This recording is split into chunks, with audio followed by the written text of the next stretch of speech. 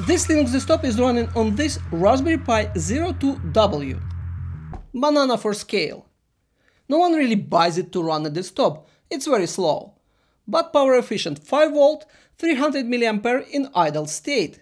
No one really knows what it means, so why I have this power bank. It will be our Banana 2, but for power consumption.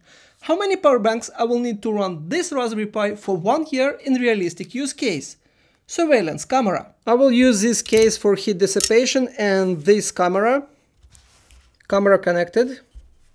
Installing motion software, changing configuration file, 1 frame per second, video files off, pictures on, web interface works. Connecting power bank, 100% charged.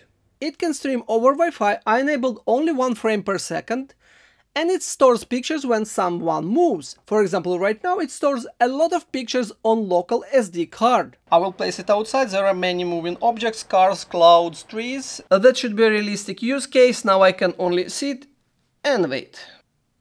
That took a while, this was not here, and power bank is empty, 47 hours.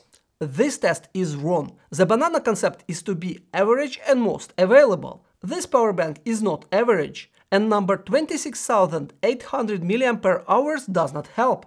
I have a perfect power bank, 10,000 mAh. This will be my yellow standard for power consumption.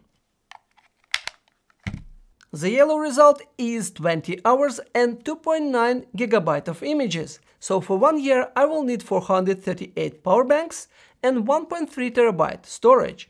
Converting this knowledge to money, 438 power banks with 1.5 TB SD card will cost almost 9000 and that was power efficient. Bye!